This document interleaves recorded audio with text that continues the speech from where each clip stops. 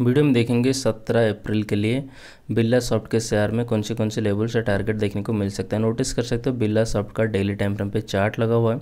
Stock यहाँ से exact लेकर डाउन ट्रेंड में कंटिन्यू करता देखने को मिल रहा था। जब इसका ब्रेकआउट होगा, तभी आपको अच्छी मूवमेंट यहाँ से देखने को मिल जाएगा। अभी के लिए आपको रेसन है दोस्तों two seventy two point four five का देखने को मिल मिल सकता है।